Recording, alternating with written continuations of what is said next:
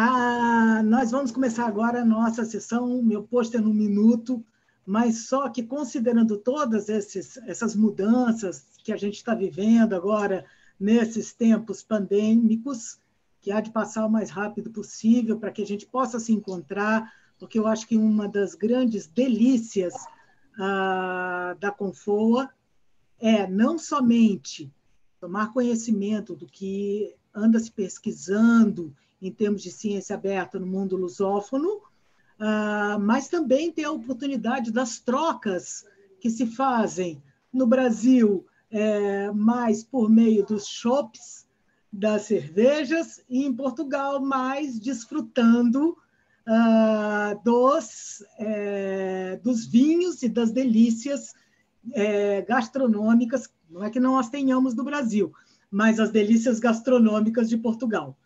Bom, vamos dar início. Eu já avisei a todos os participantes que, tendo em vista uh, esse nosso modelo, inclusive para ficar mais interativo, uh, as pessoas vão ter menos de um minuto para apresentar o seu trabalho.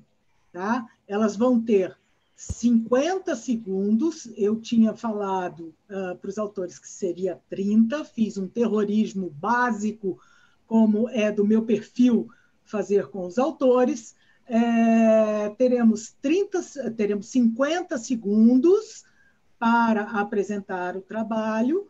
A partir dos 50 segundos, o que, que acontece? as nossas tão temidas pelos autores, mas tão divertidas para os assistentes, as nossas palmas, uh, que indica a finalização uh, da apresentação de vocês. Ok? Todo mundo a postos? Uh, vamos lá. Então, vamos para o primeiro pôster. primeiro, os primeiros autores no nosso querido Meu Pôster no Minuto, pero no mucho. Vamos lá. O primeiro é da Kelly Ayala, da Tainá Regli, e é Repositórios de Dados da América Latina, Considerações e Análises. Meninas, bora lá! Beleza. Uh, nossa pesquisa aborda a ciência aberta e os repositórios de dados latinos na plataforma R3 Data. Analisamos os tipos de repositórios, documentos, licenças, parcerias, abertura dos dados e principalmente a cobertura temática no contexto da América Latina. Concluímos constatando que não há uma temática absoluta para esses repositórios e que os países latinos estão progredindo em consonância com os princípios da ciência aberta. Muito obrigada. Uau! Arrasou! Arrasou! Solta as palmas aí, gente! Solta as palmas!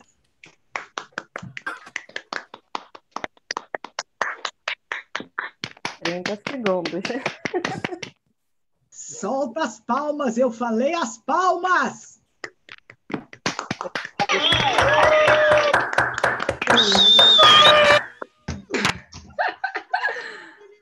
Foi totalmente. Teve uma, teve uma falha técnica aqui, Bianca. Pois é, mas ajeita a falha técnica, porque o próximo vem com tudo. Muito bom. Parabéns, meninas. O próximo é, nossa, eu vou ter muito prazer de apresentar esse. vou ter muito prazer. O próximo é da Raquel Truta, do José Carvalho, do Eloy Rodrigues. O título é Repositório Comum, 10 anos ao serviço da comunidade. É, técnica, fiquem apostos. Ah, mazinhos, sozinhos. Mais do que nunca. Vamos lá, pessoal. Pode deixar.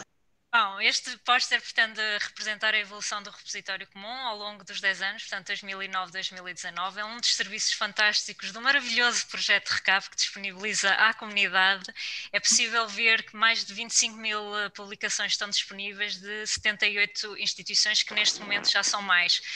Claro que este trabalho é fruto de todos os envolvidos no workflow destas instituições todas. Os números são fantásticos, são, podemos crescer sim, e neste momento estamos a crescer e, e venham mais 10, porque este serviço é fantástico e maravilhoso. Uhul! Palmas! Palmas!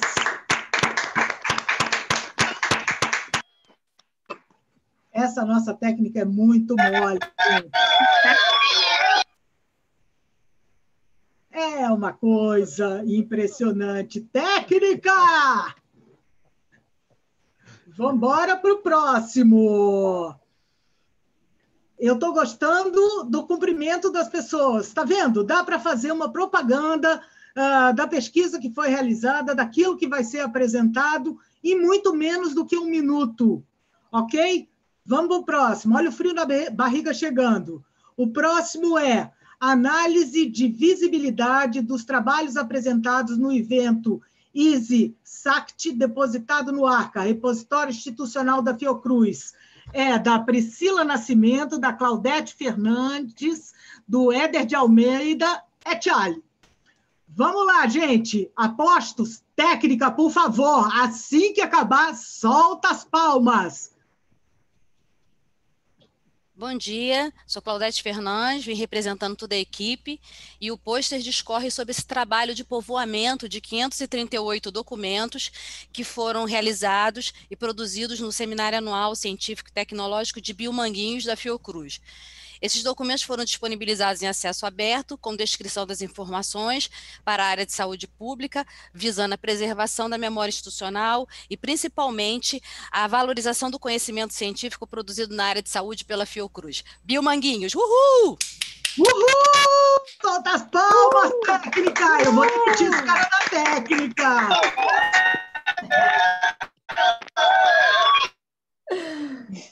Muito bem, gente, muito bem. Olha só, depois a ideia, gente, é que depois vocês visitem cada pôster, tá? Para vocês verem as especificidades de cada pôster. A ideia é deixar um gostinho de quero mais, quero ver o que, que tem nesse pôster, quero ver como é que foi realizada essa pesquisa. Tá bom? Conto com vocês depois na visita desses pôsteres, ok?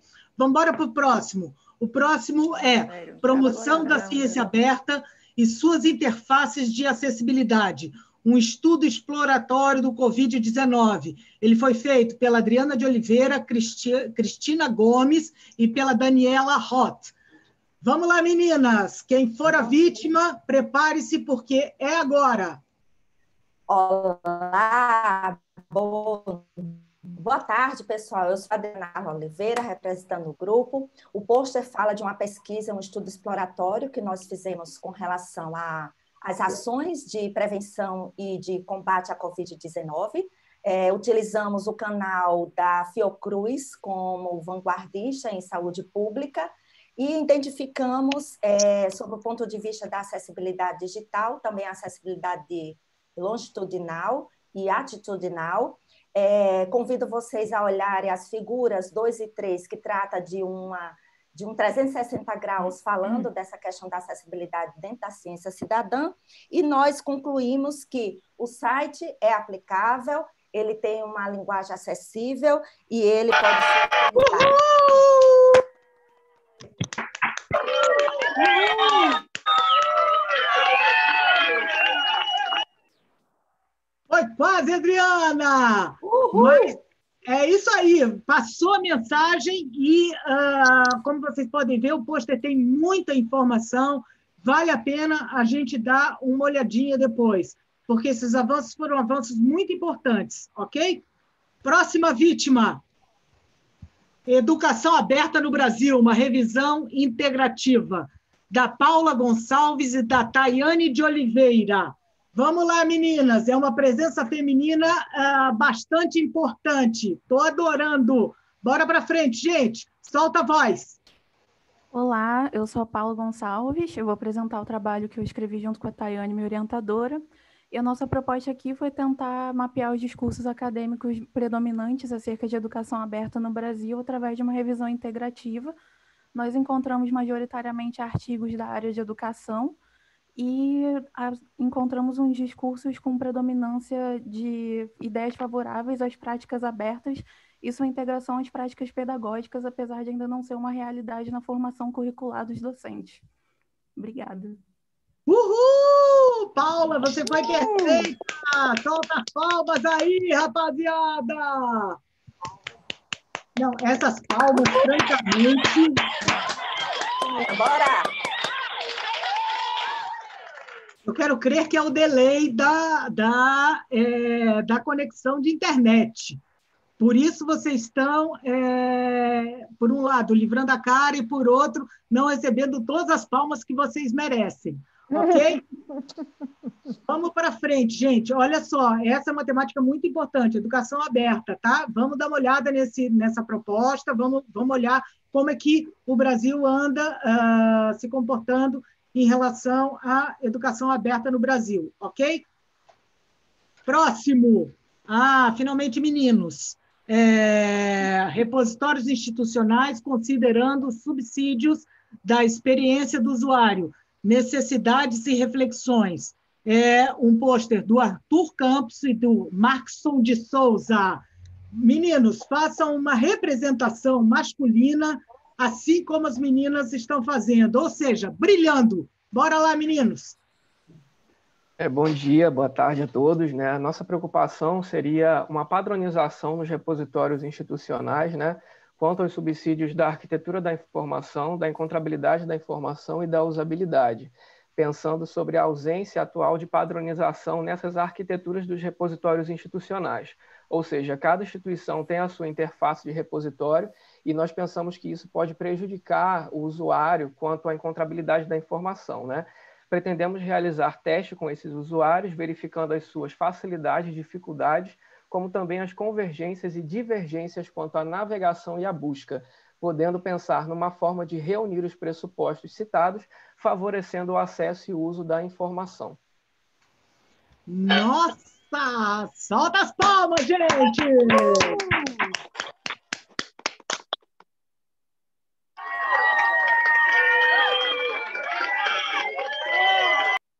Olha, eu vou te contar uma coisa, viu? Eu nunca vi umas palmas tão lentas na minha vida. Mas, enfim, vamos embora para frente, gente. É, bela apresentação. É muito importante a gente ter uh, essas questões em mente, porque não adianta nós termos todo um trabalho de gerência de repositórios se depois a experiência do usuário ela não é uma boa experiência. A gente sabe que nós, como usuários de informação digital, nós funcionamos dessa maneira. Se o sistema não funciona a contento, nós não damos chance uh, para o sistema. Nós visitamos uma vez e não visitamos mais. Então, é muito importante a gente ter isso em mente. Vamos embora para as próximas vítimas. Ah, pronto, é só falar que só tinha menina, que agora só aparece menino. Ciência aberta e a Lei Geral de Proteção de Dados interoperabilidade como alternativa para tratamento de dados de pesquisa em ambientes de saúde, do Samir Delfino e do Markson de Souza. Vamos embora de novo, meninos. Baraca, ano que vem. Meninos? Oi, Samir boa tarde, estamos escutando? Ok, estamos, vamos embora? Bom, pessoal, boa tarde a todos, tá? O trabalho em questão, ele faz parte de um estudo mais amplo que objetiva é, pesquisar sobre tratamento de dados pessoais é, para a questão do seu uso, em especial na parte de ciência aberta, em ambientes de saúde. Essa proposta em si, ela estuda sistemas de informação que estão distribuídos em um único ambiente de forma descentralizada, onde a alternativa seria propor uma interface de TI que possa centralizar essas informações, proporcionando com isso um ganho de agilidade na recuperação dessas informações, uma possibilidade de tratamento dos dados de forma mais adequada e com redução de, riscos em você ter que repetir o tratamento em diversos cenários.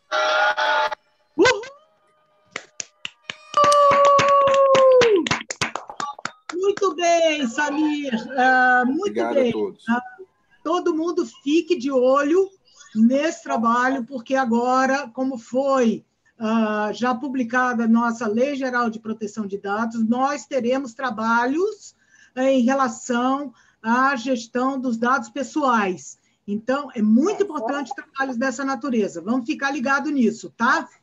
Vamos para as próximas vítimas. Desafios na prática do compartilhamento de dados de pesquisa e suas implicações no contexto da ciência aberta. Da Érica de Carvalho e do Fernando Leite. Vamos embora, gente. Agora é hora de vocês brilharem. Bom dia. Nosso trabalho objetivou analisar desafios na prática do compartilhamento de dados de pesquisa e suas implicações no contexto da ciência aberta. Trata-se de investigação bibliográfica, na qual foi utilizada a base de dados Scopus para a coleta de dados. A pesquisa realizada apontou desafios relacionados a aspectos éticos, legais, a políticas de compartilhamento de dados, a qualidade de dados de pesquisa e a disponibilidade de recursos. Tais desafios demonstram que mudanças culturais, sociais, comportamentais, econômicas e, sobretudo, institucionais são altamente relevantes em direção à ciência aberta. Obrigada. Uhul, uhul! Acabou muito bem, Erika! Arrasou, cara! Arrasou, arrasou. Os posters estão muito legais hoje, gente. Tudo eu ah, recomendo, quase exijo de vocês para darem olhada dos, nos posters é, depois, porque são temas todos muito importantes que afetam ao trabalho e ao momento que a gente está vivendo de ciência aberta, tanto no Brasil quanto em Portugal. Vamos para as próximas vítimas. Ah, querida Claudete! Ah, bom, o título é Rede Sudeste de Repositórios Institucionais, adoro as redes, compartilhando experiências, conhecimento científico e projetos. Querida Claudete Queiroz, coordenadora da Rede Sudeste de Repositórios, manda ver. Bom dia, ou eu de novo aqui, venho aqui representar toda a Rede Sudeste. A gente começou em 2017 com 15 instituições, atualmente somos 68. É, e a gente vem fazendo um trabalho colaborativo, desenvolvendo novos projetos e novos, novas é, atuações dentro desse campo voltado para os repositórios, e destacando aqui os seis projetos que a gente tem para realizar durante o ano de 2020 e 2021, voltados para a memória, para a preservação, para a certificação, para cursos e para toda essa parte de preservação digital, além de política de indexação. Parabéns à Rede Sudeste! Uhul! Parabéns, Henrique Sudeste, parabéns, Caldete. Você foi totalmente dentro do tempo. A Rede Sudeste é também um modelo dentro da rede brasileira de repositórios. É um modelo. A ideia é que as boas práticas se disseminem não somente dentro da região, mas também para outras redes regionais que a gente tem no Brasil e, quiçá, também as boas práticas para os nossos queridos uh, amigos portugueses. Uh, parabéns, gente. Vamos para o próximo. O próximo é 25 April PT Lab, Laboratório Interativo da Transição Democrática Portuguesa, uh, da autoria do Pedro Recchio, Dionísia Laranjeiro, Laranjeiro e Pierre Marie. Uh, quem será a vítima? Por favor, se apresente agora. Conseguem ouvir? Sim. Posso começar? Por favor. Este projeto tem como objetivo criar um repositório online com conteúdos sobre o processo da transição democrática portuguesa, que vai de 1958 a 1982, e destina-se à comunidade educativa, alunos e professores. Levámos a cabo um estudo dos manuais escolares e conduzimos um inquérito junto das escolas e reparámos que a principal dificuldade no estudo e no ensino das temáticas relacionadas com este período era justamente a escassez de documentos e é por isso que este projeto surge como complemento das falhas históricas e da exaustividade dos documentos presentes nos manuais e um, ao mesmo tempo a, a, a, plataforma disponibiliza também uma ferramenta de autoria permite aos professores criar permite aos professores criar uh, ferramentas próprias. Muito bem, Pedro! Muito bem. Queridos ah, da técnica, cadê a Sirene? Vamos embora lá. Sirene foi. A Sirene dormiu. Ah, práticas de indexação nos repositórios institucionais do Nordeste brasileiro, do Cláudio Golpino e da Juliane Pereira. Vamos lá, todo mundo a postos. Técnica, espertos. Está ouvindo? Agora, tá vamos embora. É, bom dia, boa tarde a todos. Meu nome é Giuliane é, Monteiro. A proposta do trabalho surge da preocupação de como se tem um controle é, dos metadados cadastrados nos repositórios. Dessa forma, nós tivemos como objetivo identificar se existe, quais repositórios institucionais do Nordeste do Brasil fazem uso é, ou, é, da política de indexação, né? bem como conhecer quais instrumentos, ferramentas eles utilizam. Concluímos que até o momento nenhum desses repositórios possui uma política de indexação, é, mas utilizam algumas ferramentas para manter o controle e qualidade desses metadados. Convido a todos para verificar o restante da, dos resultados do trabalho. Obrigada. Muito obrigada, Juliane. Foi muito legal a sua apresentação. Tá? A gente obrigada, tem que pensar em outros instrumentos para o acompanhamento dos nossos. Não posso agora, eu estou em aula mais tarde, tá? Ah, mais tarde eu ligo, agora, ou vocês me ligam. É, Angélica, a gente está ouvindo você falar no telefone. É, agora, o próximo uh, é a produção científica e o acesso aberto sobre a ciência de dados no contexto da ciência da informação. Estudo bibliométrico, por, uh, de autoria de Maurício de Matos, Marise Conduru e Alegria Benchimol. Queridos, a palavra é de vocês. Bom dia, boa tarde. É, com a percepção de que a ciência de informação ela se aproxima cada vez mais do estudo dos dados, e a importância do acesso aberto para o desenvolvimento da ciência e da tecnologia, é, nós realizamos uma pesquisa bibliométrica para analisar a correlação entre o acesso à informação e acesso de dados, é, com a preocupação de analisar a produção em acesso aberto, encontrando 180 artigos da temática no total, 80 do, é, do total de acesso livre.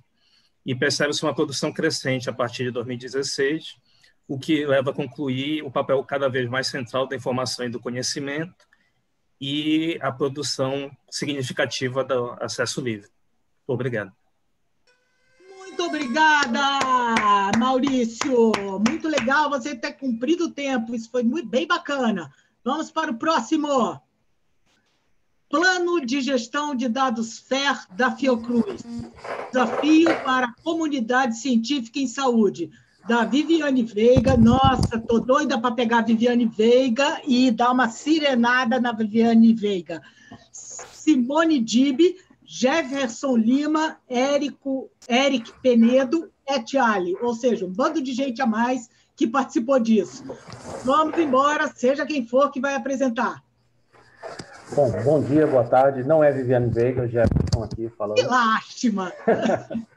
Mas, bom, nosso trabalho, ele parte do seguinte princípio, de que a gente tem um plano de, o plano de gestão de dados de pesquisa, hoje em dia, já não, tem mais um, não há mais um questionamento sobre a necessidade dele ou não. A questão toda é se as ferramentas que são mais utilizadas, elas atendem os requisitos necessários para tratar dados complexos, para reprodutibilidade e para o reuso.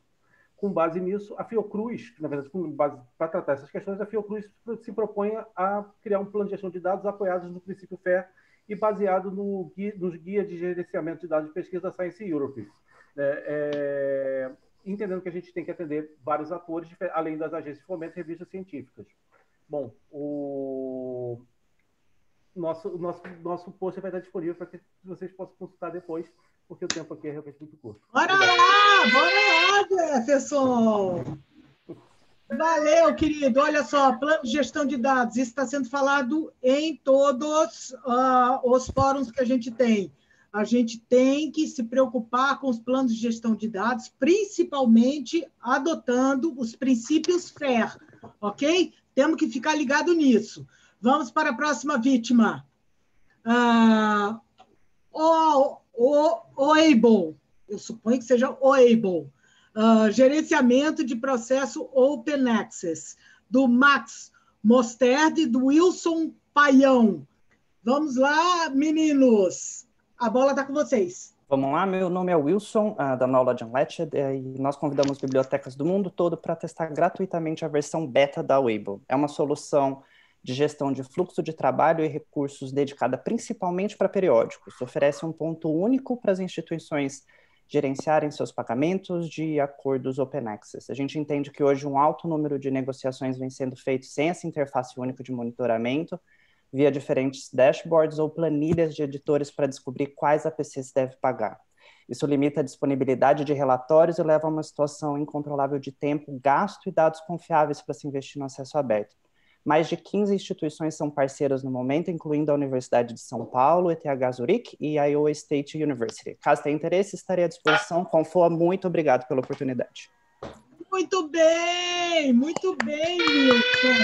Eu espero que seja uma uh, solução aberta, que a gente não tenha que pagar nada para fazer parte disso, porque a ideia é aqui nós sabemos que ninguém tem recursos para pagar por absolutamente nada. Vamos embora para o próximo. Eita, esse daí eu vou pegar no pé, porque esse é um dos meus meninos.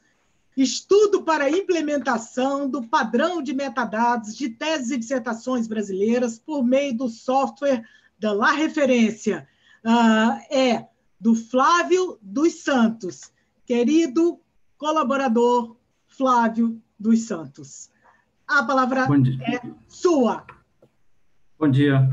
O estudo foi baseado no padrão utilizado pela Biblioteca Digital Brasileira de Teses e Dissertações, BDTD, através do uso do software La Referência, que realiza a coleta de mais de 100 instituições brasileiras e permite o tratamento dos dados através da criação de transformadores e validadores, e, por fim, pela indexação dos registros no portal da BDTD, o objetivo foi compreender e analisar o padrão de preenchimento dos metadados pelas instituições participantes da BDTD. E o software permite visualização de um relatório diagnóstico com estatística dos dados dos registros coletados válidos e inválidos, e com os relatórios individuais de cada instituição, é possível um levantamento mais preciso sobre o preenchimento dos metadados e possíveis erros cometidos no preenchimento, e assim auxiliar as instituições na adequação do padrão proposto pela BDTD. Obrigado. Uhul! Nossa, gente, agora morri de orgulho. Morri de orgulho. Morri de orgulho de você, Flávio. Esse menino é bom. Vamos para o próximo. Dados abertos em tempos de estado de emergência em função do Covid-19. O caso do município de Fortaleza, Ceará, Brasil, do Luiz Pessoa e do Markson de Souza. Markson, você está em todas, hein, Markson? Vamos lá, gente. Bom dia, boa tarde a todos. É, esse trabalho versa sobre a, uma pesquisa sobre dados abertos no município de Fortaleza em virtude do Covid, aqueles recursos que foram é, alocados para, para essa função, então a audiência é a sociedade em geral, e a, pro, a proposta consistiu em verificar como o município de Fortaleza aplicou esses recursos, e observou-se que a maioria dos recursos foi é, alocado pela Secretaria de Saúde, é, para a contratação de hospitais emergenciais, é, de alimentação e treinamentos. É, Observou-se também, como resultados, que o município de Fortaleza disponibilizou uma página específica para esse fim, apresentando planilha com metadados sobre contratos, data de publicação, quem foi contratado.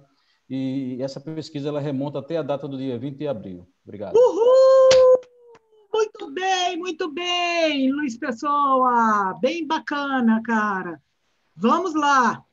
Vamos a próximo. Atuação dos programas de pós-graduação da área 1 na disponibilização de conteúdo do repositório institucional da Universidade Federal da Bahia, da Davilene Santos e da Flávia, Flávia Rosa. Que saudades! Vamos lá, gente!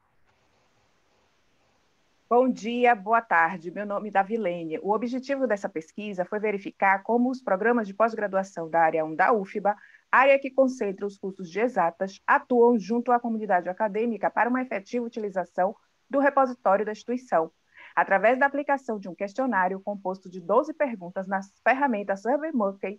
Dos 24 convites enviados, retornaram 17 questionários respondidos, e esses permitiram identificar que a maioria dos coordenadores dos programas desconhecem o movimento de acesso aberto, mas, por outro lado, 50% afirmam conhecer o repositório da UFBA, já o tipo de documento mais orientado à inserção no RI e UFBA foram as teses e dissertações. Conclui-se que a UFBA está em movimento e que os programas, de forma geral, estão alinhados com o NAA. Viva a UFBA! UFBA em Uhul! movimento! Uhul! Muito bem, muito bem, é, Davilene, muito legal. Estou vendo que está todo mundo se aproveitando do papelzinho na frente, né? Vão se aproveitando dessa versão da Confor, entendeu? porque ah, nas próximas não vai ser assim tão fácil, não, tá? É tudo que eu vou, eu estou falando para vocês. Vamos lá, gente. Repositórios institucionais e memória institucional, possibilidades além da preservação. É da Jamile de Souza. Jamile, querida, faça sua estreia. Olá, bom dia, boa tarde. É, meu pôster é um desdobramento da minha pesquisa de dissertação, que tem como objetivo identificar a relação entre os repositórios institucionais e a memória institucional, além da preservação, muito em função das próprias características dos repositórios institucionais e de algumas abordagens da memória institucional encontradas na literatura.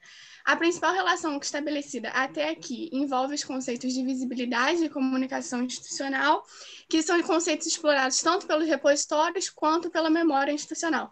É, como eu disse, é uma pesquisa em andamento e a próxima fase de investigação vai ocorrer no repositório institucional da Fiocruz. Muito obrigada. Valeu, Jamile! Arrasou! Arrasou. Vamos ver no próximo ano, tá? Que essa pesquisa já deve estar concluída. Vamos para o próximo.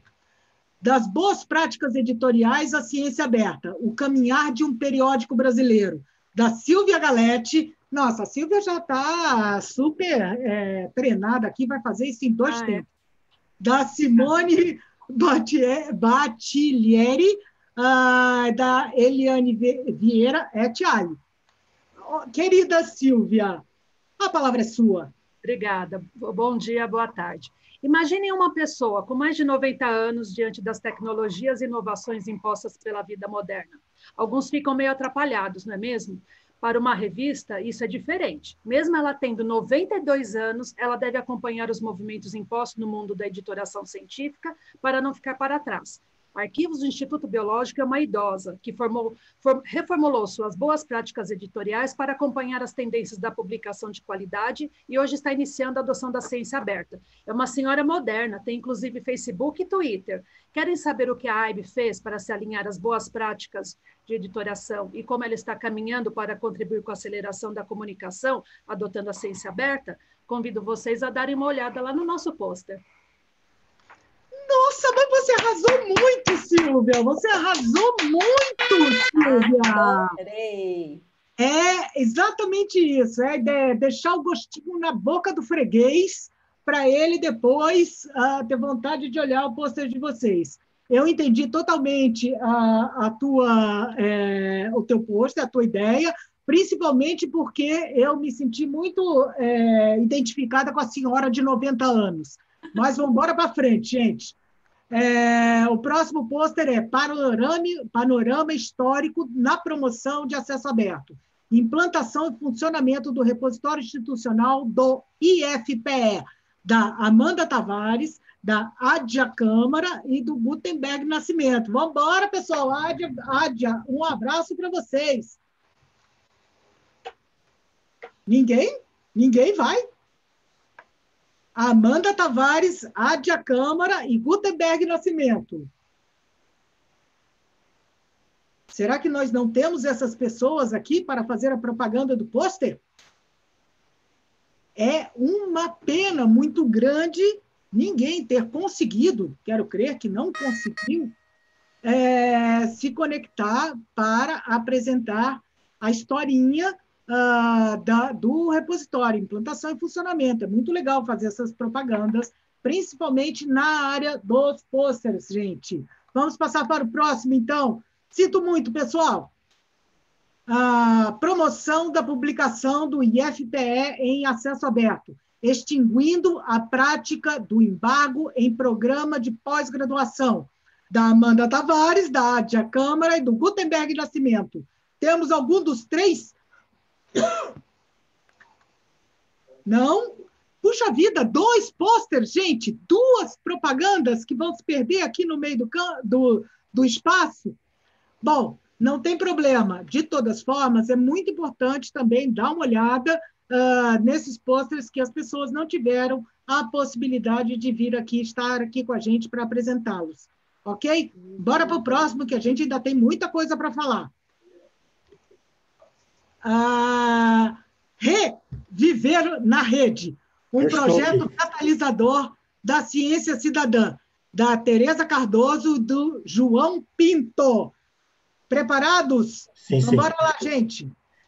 Olá, então daqui fala a Universidade Aberta de Portugal. Uh, o nosso póster é sobre o projeto Rever na Rede, que visa apoiar os desempregados a ultrapassar o, o, seu isolamento social e a melhorar a empregabilidade através das redes sociais, principalmente o Facebook.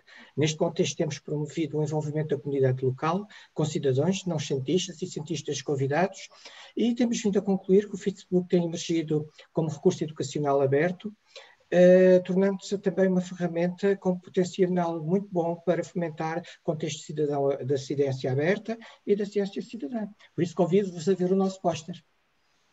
Nossa, muito bom, muito bom, João, muito legal. É, é muito bom a gente, a gente discutir as questões relacionadas à ciência cidadã, principalmente em tempos pandêmicos como a gente está agora. Então, pesquisas dessa natureza são de grande importância. Bora para o próximo! Disponibilidade em acesso aberto da produção científica no contexto da pandemia Covid-19, mapeando ações e iniciativas. É impressionante, esse Covid pega mesmo, né? É só eu falar de um pôster de Covid e aparece outro. É, da Ellen do Nascimento e do Hamilton de Oliveira. Quem será a pessoa? Man, solta a voz. Bom dia, boa tarde a todos. É, diante do cenário atual, editoras, revistas acadêmicas e plataformas de periódicos liberaram acesso a dados e conteúdos sobre doenças infecciosas e enfrentamento de pandemias, que até então possuíam acesso fechado. Posto isso, a proposta do presente trabalho foi identificar, mapear e analisar as principais ações e iniciativas nacionais e internacionais que disponibilizarem acesso aberto às produções científicas em saúde pública, particularmente no contexto da pandemia do Covid-19. Muito bem, muito bem, Ellen. Olha, eu espero que você considere o universo aberto aí na sua pesquisa. Muito bem. Ah, vamos embora para frente. Próxima vítima. É, 10 anos de acesso aberto ao conhecimento científico. O caso do repositório científico do Instituto Politécnico de Castelo Branco, de Portugal, da Eduarda Rodrigues e do Antônio Rodrigues. Grande dupla. Solta a voz. Eduarda. Antônio. Também não. A dupla Rodrigues não está presente. Bom, Uh, Bianca, a Eduarda está, está aqui presente. Pode uhum. não estar a funcionar, mas ela está aqui nos oradores. Ah, ah bom. É, é, uma, é uma pena, Eduarda, é, é uma pena. A gente adoraria ouvir você falar a respeito dessa pesquisa e principalmente da celebração dos 10 anos de acesso aberto do repositório de vocês, tá? do conhecimento científico, desculpa, e ouvir o caso dos repositórios de vocês. Mas não deixem de visitar esse pôster para é, poder conhecer essa trajetória desse repositório. Ok, gente? Vamos para o próximo. A cultura de autoarquivamento de trabalho de conclusão de curso na Universidade Federal da Integração Latino-Americana, UNILA, que é uh, de autoria do nosso querido Nilson, que eu tenho certeza que vai arrasar na apresentação. A palavra e o brilho é seu, Nilson. Olá, bom dia e boa tarde a todos. É, meu nome é Nilson, né, e eu estou aqui para apresentar como se deu os procedimentos e a implementação da cultura de autoarquivamento de TCCs por discentes dos cursos de graduação da UNILA. A UNILA, que é uma instituição brasileira, é, é uma instituição nova, ela está situada na cidade de Foz do Iguaçu, no Paraná, Brasil.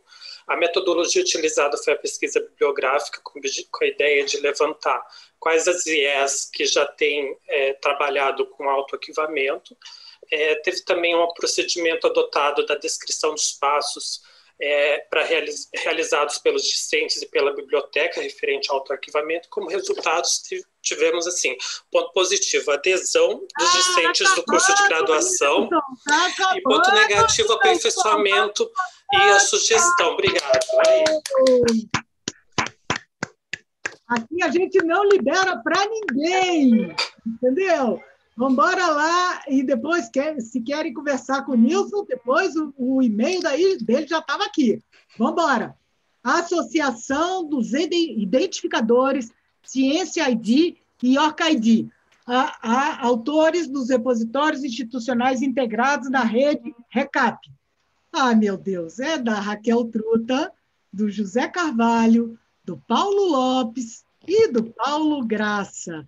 É, eu acho que eu vou fazer um pouco mais de suspense para deixar o frio na barriga deles, uh, para eles começarem a conversar.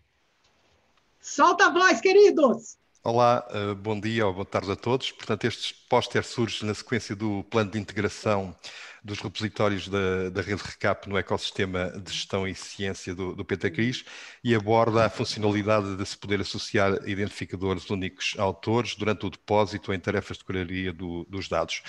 Uh, esta associação permite relacionar de forma única autores com publicações, com projetos ou com organizações e a utilização destes identificadores Uh, facilita, por exemplo, a interoperabilidade entre sistemas, a propagação de informação ou as tarefas de, de, reporting. Ficamos ao dispor para qualquer questão que possam ter. Obrigado. Maravilhoso, Paulo, maravilhoso, maravilhoso. Gente, são temáticas muito importantes. A gente sempre é, precisa olhar as práticas que são é, importantes de desenvolvimento. Fiquem de olho nesse pôster, qualquer coisa, entre em contato com eh, os autores, porque é muito importante a gente estar antenado nessa questão dos identificadores, ok? Vamos para o próximo. Oh, meu Deus! É, continua da Alminho. A Alminho Editora, serviços integrados para publicações em acesso aberto. Da querida Carla Marques, do José Carvalho e do Eloy Rodrigues. Eu acho que vai ser a Carla quem vai apresentar. Então, queridos, soltem a voz. Uh, bom dia, boa tarde. Então, a minha editora é uma editora académica criada em dezembro de 2018. Tem quatro serviços principais: a publicação de livros através do Open Monograph Press, o alojamento de revistas no Open Journal System, a atribuição de DOIs a toda a comunidade académica da Universidade de Minho e sessões de apoio e helpdesk contínuo sobre uh, as boas práticas de publicação uh, e de ciência aberta. Se quiserem saber mais do que fazemos, sigam os nossos links. Muito obrigada. Muito bem, Carla. Eu sabia. Arrasou, arrasou, arrasou, arrasou. Olha, editores de revistas científicas, é, entre em contato, porque é muito importante, volto a dizer, as melhores práticas, as boas práticas, as estruturas que são montadas ah, em outras instituições podem servir de modelo para as nossas atividades nos nossos âmbitos. Então, cutuquem a Carla, que vocês vão ter uh, um uh, atendimento sempre muito simpático e muito prestativo. Não vou falar do Zé Carvalho do, do Eloy Rodrigues, não, tá? Vou falar da Carla. Bom, próximo. É autoarquivamento na Universidade Federal do Rio Grande do Norte, da UFRN, configurações do DaySpace para validação do depósito em duas etapas, da minha queridíssima Clediane Marques, junto com outra querida Elisângela de Moura. Bom, como a Clediane é, já é velha de guerra na Confoa, eu acho que eu já vou é, soltar o relógio, uh, pra, porque ela já vai tirar esse tempo de letra. É, não é mesmo, Clediane? A gente pode ficar conversando aqui. É, Bianca, eu aproveito já para comentar que este post aborda as possibilidades existentes no Dispace para as configurações nos fluxos de depósitos e que apresenta as implementações realizadas nos repositórios da UFRN, onde utiliza-se o Workflow 2 com uma etapa de revisão realizada pela equipe do repositório para documentos já previamente publicados e destaca o Workflow 1 e 3 para documentos de conclusão de cursos com duas etapas de revisão, onde o professor valida o conteúdo e a equipe do repositório valida os metadados e faz a disponibilização do depósito. Dessa forma, verificamos que com essas configurações implementadas, foi possível, com a participação de todos os autores, ou seja, os alunos, os professores, os bibliotecários, obter um aperfeiçoamento do fluxo do arquivamento. É, Arrasou, querida! Olha só, é, autodepósito é algo ainda muito sensível no Brasil. Portanto, gestores de repositório, visitem este pôster, porque nós precisamos adotar o autoarquivamento em todos os repositórios do Brasil. Não sei, não tenho conhecimento dos repositórios em Portugal, se todos já estão utilizando o autodepósito. Não obstante, nós temos que fazer isto no Brasil e de uma maneira imediata. Não adianta ter várias ações de acesso aberto e não implementar ações tão importantes como o autoarquivamento. Ok? Vamos embora para frente, gente. O próximo é a formulário automatizado para depósito da produção científica da Unicamp em seu repositório institucional, da Alessandra Neves, da Érica Mansur, da Gardênia Benossi Etiale. Quem for, solta a voz, queridas. Bom dia, boa tarde a todos. Eu sou a Alessandra. Esse formulário que nós fizemos é para depósito imediato e com qualidade. Então, o depositante ele acessa o formulário com a sua autenticação da Unicamp. Sendo assim, os dados vestuais já são preenchidos. O preenche, as outras informações, eles são de múltipla escolha. Chama atenção que tem pré-print e a versão do editor. A solicitação ela é enviada diretamente para a biblioteca, que tem até três dias úteis para catalogar e indexar no repositório. E esse processo é finalizado com colocando o link no formulário e enviando automaticamente para o depositante. Então, temos uma catalogação com qualidade, uma recuperação com qualidade. É isso, obrigada. Nossa! Bem, parabéns com vontade, parabéns com muita vontade. Olha outra boa prática para ser é, adotada também, para ser copiada, por que não? É, o que for bom, a gente copia, a gente agradece, a gente atribui a quem uh, teve a ideia, é óbvio, não esqueçamos do Cicibai, uh, mas a gente adota as boas práticas dos desenvolvimentos que já foram realizados por outras instituições. Parabéns, gente. Uh, registros de autoridades em RDA. O caso dos docentes e pesquisadores da Unicamp, Unicamp de novo aí, gente, e o repositório da produção científica e intelectual. Olha, lá vem o mesmo pessoal, a Érica Mansurra, a Gardênia Benossi e a Alessandra Neves. Bom, solta a voz. Boa tarde, é, eu sou a Érica. O trabalho trata dos registros de autoridade de 5.649 docentes e pesquisadores da Unicamp e na falta de padrão que foi detectada nas entradas dessas autoridades por conta das variações dos nomes.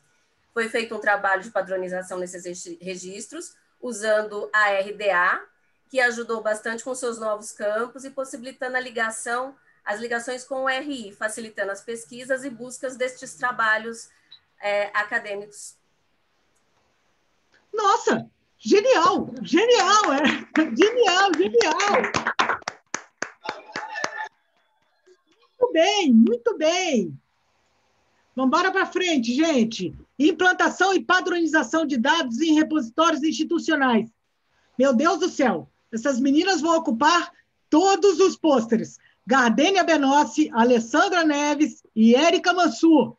Ah, queridas, soltem a voz.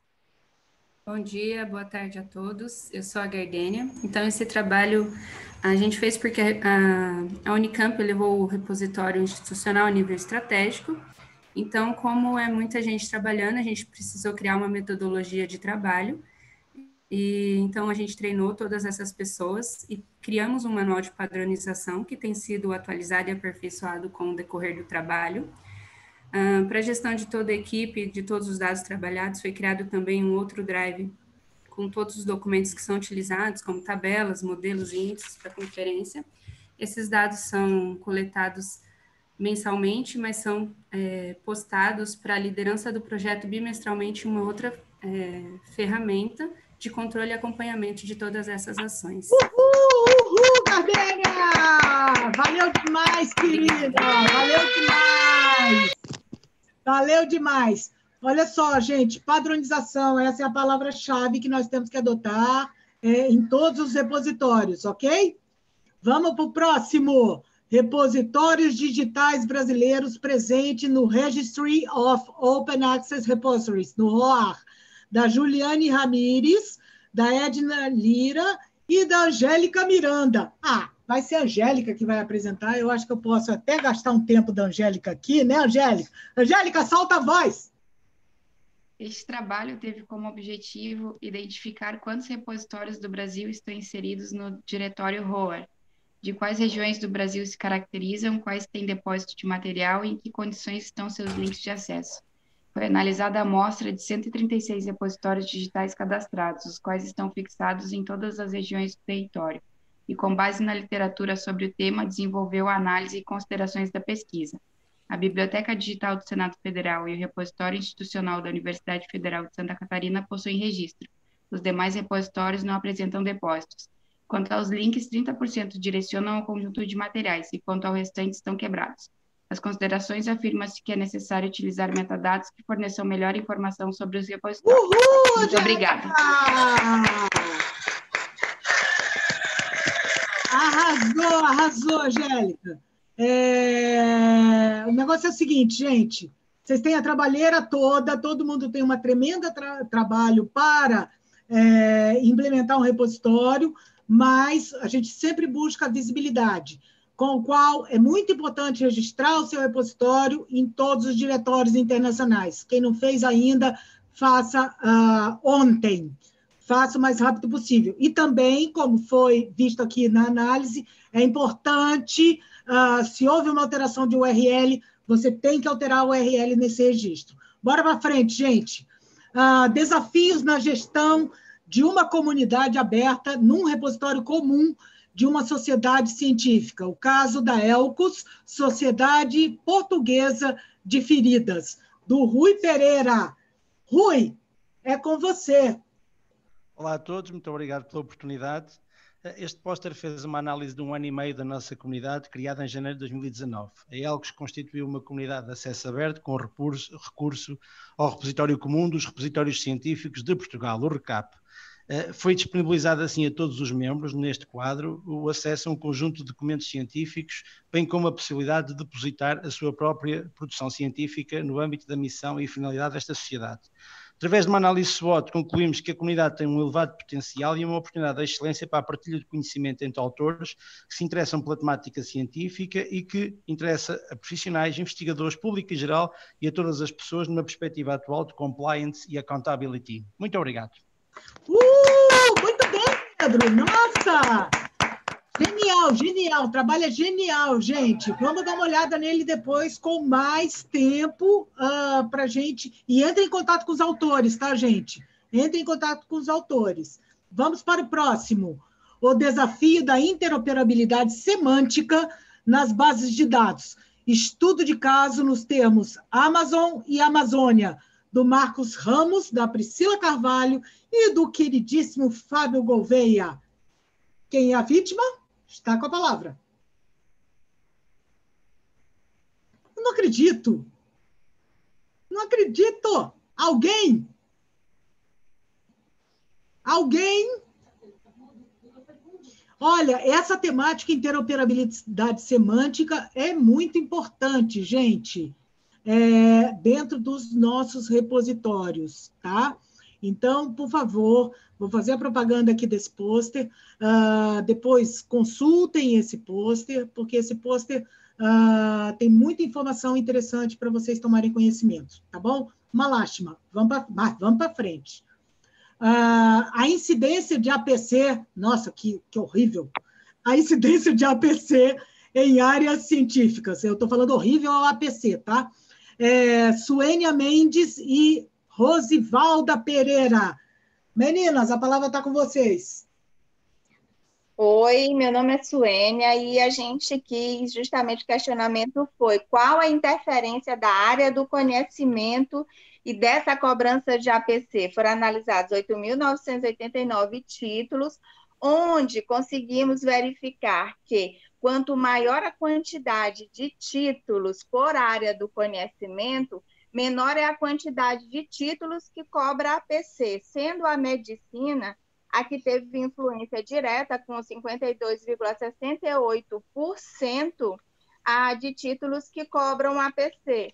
Então, esse estudo mostra a relevância de uma gestão de custos para os periódicos científicos em acesso aberto. muito bem! Bem,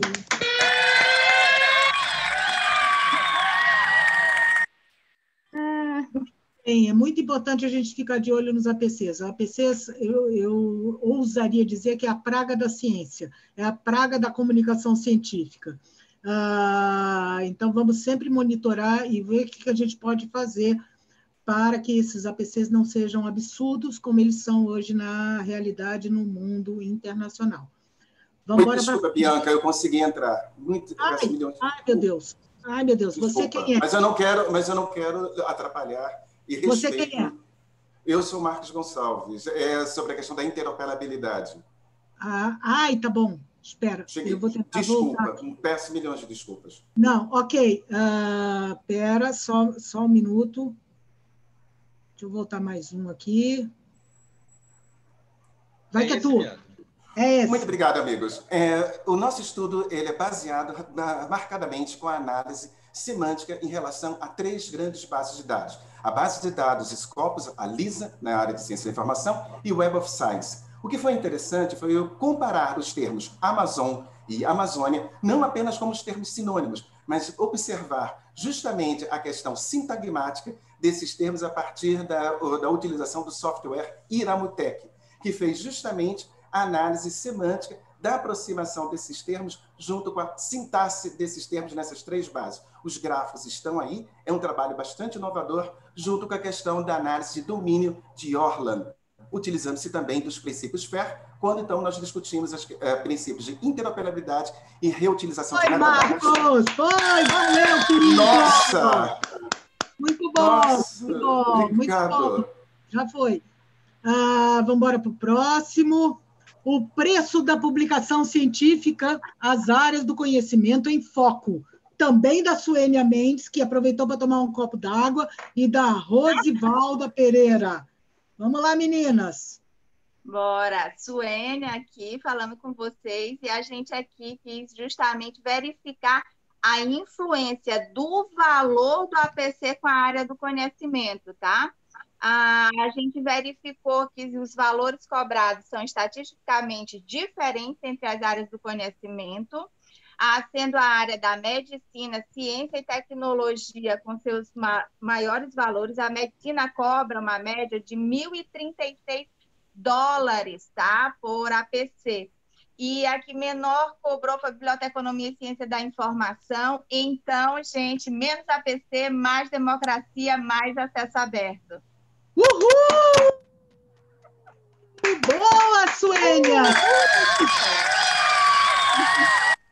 Quisera eu ter 1.036 dólares. Imagina se eu ia pagar para uma publicação.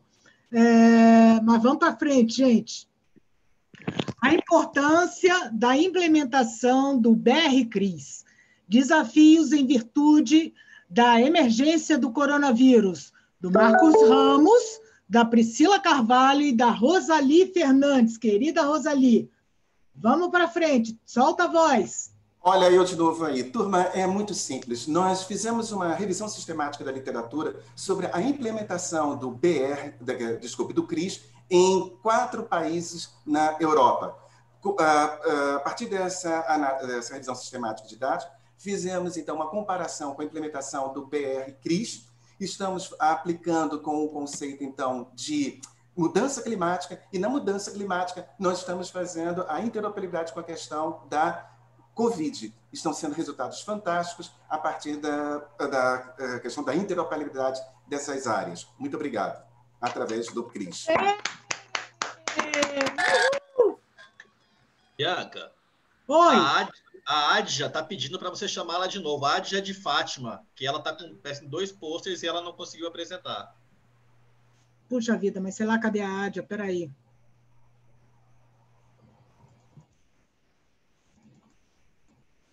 Gente, todo mundo tem que ficar plugado. Plugado. Talvez chame ela no final, Bianca, para não atrapalhar a ordem, então. Não, agora já atrapalhou, porque agora eu já estou procurando a Adi aqui.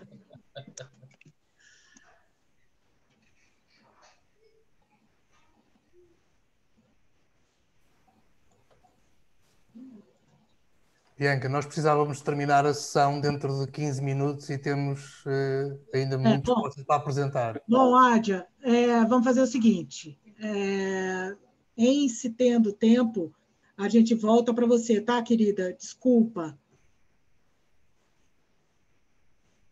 Pronto, já estamos quase. Vamos lá, gente. Usabilidade em repositório institucional. O caso do Memória RI do IFRN, da Vanessa Cavalcante, da Bruna do Nascimento e do Jonas Oliveira. A palavra é de vocês. Olá, bom dia, boa tarde a todos. Então, o presente estudo, ele trata de uma pesquisa em andamento que o objetivo é verificar se o acesso e uso das informações no Memoria são eficientes quanto à disponibilização em sua interface e se satisfaz as necessidades dos usuários. Considerando que o RI foi implantado há cinco anos, já observa-se essa necessidade de realizar estudos quanto à usabilidade do repositório. Então, para isso, é, proceder-se à realização de avaliação heurística, baseando-se nas 10 heurísticas propostas por Nielsen, bem como a realização de avaliação cooperativa junto aos usuários do RI. Espera-se com essa pesquisa é, propor, é, propor, apresentar propostas de melhoria na interface do repositório com o intuito de facilitar, de melhorar o acesso e uso da informação no repositório. Muito obrigada pela atenção. Muito bem, Bruna!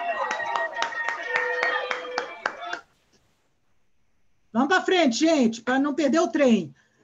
A gestão do acesso livre ao conhecimento nas instituições de ensino superior, estudo de caso sobre repositórios de acesso aberto, do João Alves. João, pessoal, pessoal boa tarde. É, esse estudo está tá decorrendo ainda, está em andamento, é, sobre a gestão da produção acadêmica na pós-graduação da, da UFBA e da Universidade do Minho certo? E o que, é, o, que, o que essa gestão vai impactar na educação aberta? Quais são os impactos?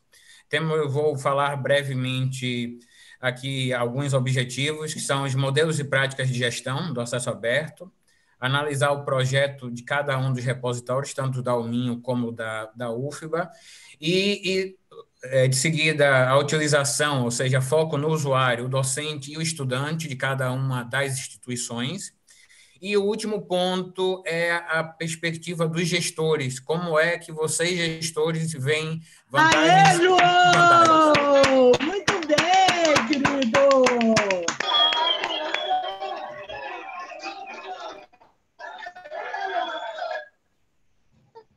Vamos para o próximo, gente.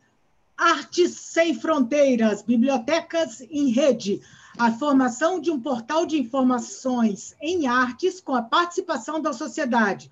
O caso Redarte Rio de Janeiro, da Alpina Rosa, da Elisete Melo, da Denise Batista Etiale. Vamos embora, meninas! Elisete falando, boa tarde a todos, bom dia. A campanha de crowdfunding Artes Sem Fronteiras, Bibliotecas em Rede, arrecadou R$ 42.893, visava a obtenção de recursos financeiros para o projeto de um portal de busca online que reúna os acervos das bibliotecas das instituições membros da Redarte RJ, facilitando o acesso público à informação em artes. O portal deverá ser lançado no primeiro semestre de 2021. O portal reunirá os acervos bibliográficos do Museu Nacional de Belas Artes, Museu Histórico Nacional, Museu Caximar e Fundação Casimiro Barbosa, período do edital foram, é, estiveram com a documentação em dia. É, a Redarte vai fazer 25 anos de existência. Viva a Redarte! Obrigada. Qualquer coisa, só ver Uhul, uhul!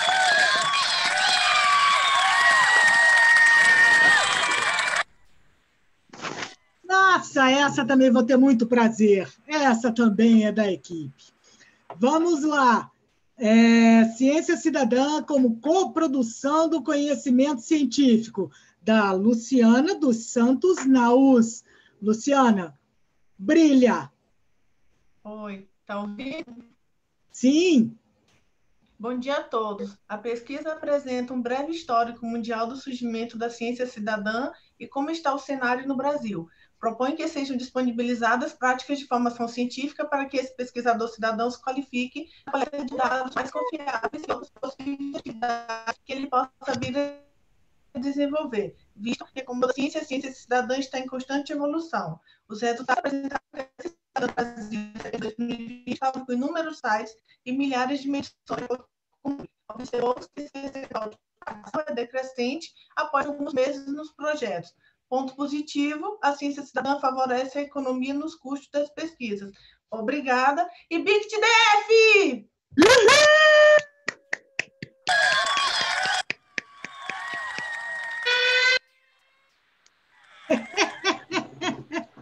Análise da mobilidade acadêmica brasileira baseada em dados curriculares da plataforma Lápis, do Igor Mascarenhas, do Tiago Dias e da Patrícia Dias. O Tiago sempre aparecendo, né, Tiago? É uma coisa, é uma alegria. Mas é uma alegria, Tiago.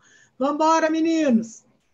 É, bom dia, boa tarde a todos. Meu nome é Igor Alexandre, eu sou do Cefet MG. Eu venho hoje apresentar meu trabalho, que de forma inédita e com um grande conjunto de dados, trata de da análise de mobilidade acadêmica é, através da, da formação do, dos indivíduos brasileiros, né? É, o conjunto de dados foi extraído em acesso aberto da plataforma Lattes, né? E se tratando de todo o conjunto de doutores é, cadastrados na plataforma. Como resultado, conseguimos é, possuir, é, obter um retrato dos fluxos percorridos pelos doutores, tanto a nível nacional quanto internacional. Muito obrigado a todos. Uhul! Uhul! Vamos lá, gente. Foi boa essa, Igor.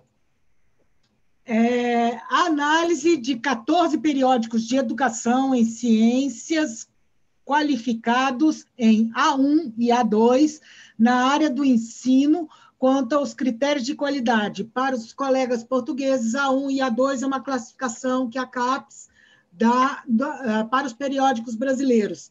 É da Simone Firme, da Angélica Miranda e do João Silva. Está com vocês, gente.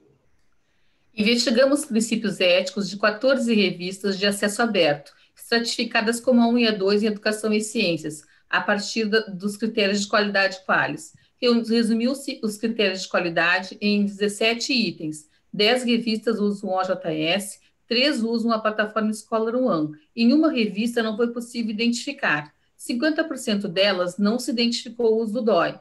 Existe discrepância quanto aos itens pesquisados e algumas das revistas não têm os critérios apontados como sendo de qualidade de um periódico científico. Convidamos a todos para ir conhecer o pôster. Obrigada.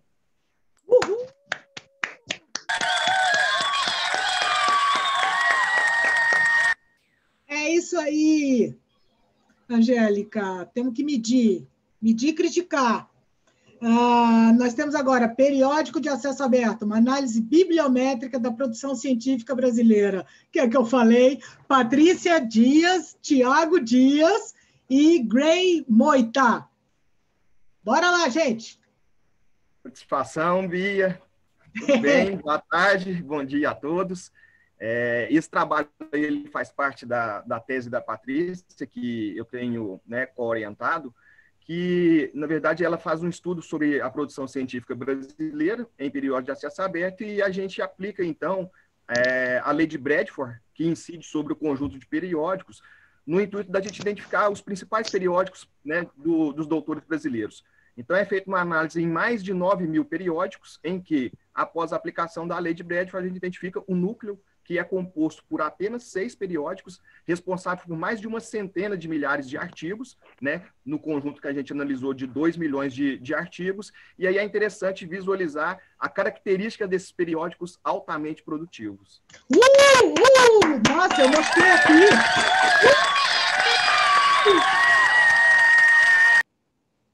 Valeu, Tiago! Importantíssimo trabalho, tá, gente?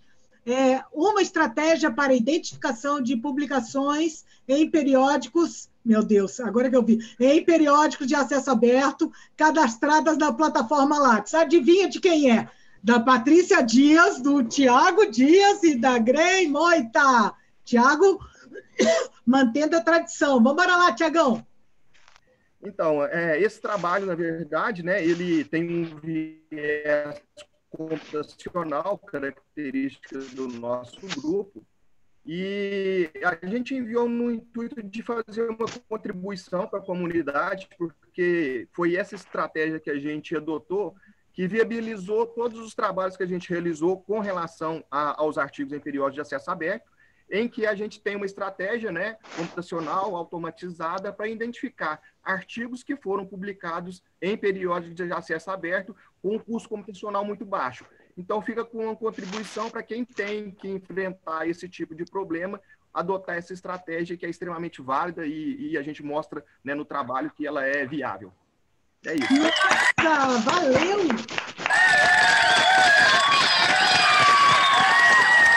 Nossa, valeu! Valeu muito! Grande contribuição, Thiago. Vamos para frente. Bom, não vamos para frente, espera aí. A gente termina a nossa sessão agora, porque a gente já está atrasado, gente. A gente está atrasado para a, a última conferência. Parabéns a todos os autores. Todos os autores. A gente se vê agora na sessão de encerramento, tá bom, gente? Sessão de encerramento, nada. A conferência de encerramento, ok? Muito obrigada a participação de todos, vocês foram lindos. Tchau!